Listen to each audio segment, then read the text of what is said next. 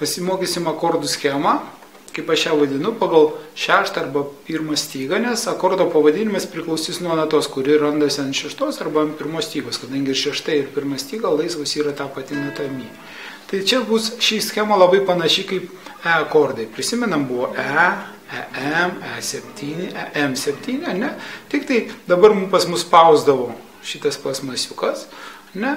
Vietoj jo mes statom pirštą ir vėl kaip E akordas. Ne? Ir pirmom skirsnį vadinsis F. Jeigu pakeliu antrą pirštą bus FM, minoras. Jeigu pakeliu ketvirtą pirštą F7, septakordas. Ir jeigu pakeliu abu pirštus, palieku tik trečią FM7, minorinis septakordas. Keturi variantai. Mažoras, minoras, septakordas ir minorinis septakordas. Ir dabar priklausomai nuo skirsnių keisis tik pagrindinio raidės pavadinimas. Antram skirsniui prisidės ženkliukas diezas, ar ne, nes jeigu čia buvo fanata ir pustonių paaukštinau, gavosi fa diez. Tai reiškia visi akordai fa diez, fa diez M, fa diez septakordas 7, fa diez M7, minorinis septakordas.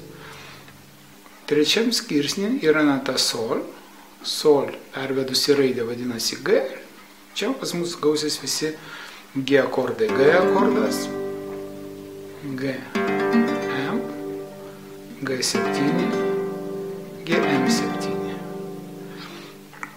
Dabar atkreipkite dėmesį, jeigu čia yra G akordas, o aš pažeminu pusę tono, pasirašytų bemolis, ar ne, tai čia būtų G bemol akordas, G bemol minoras M, G bemol 7, G bemol M7, minorinis septakordas.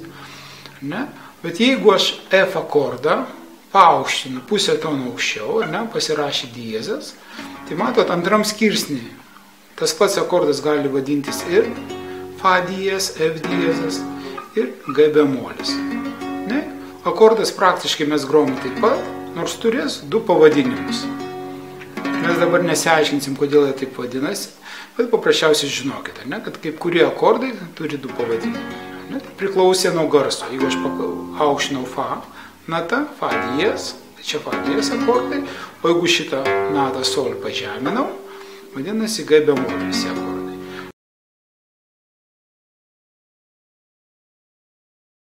Reiškia, kad penktam skirsnį yra visi A akordai, reiškia, ketvirtam bus A bemol, šeštam A diezai, jeigu trečiam skirsnė randasi G akordai, vadinasi ketvirtam bus G diezai, antram G bemoliai, jeigu pirmam F žinosite, tai suprasite, kad antram bus Fa diezai.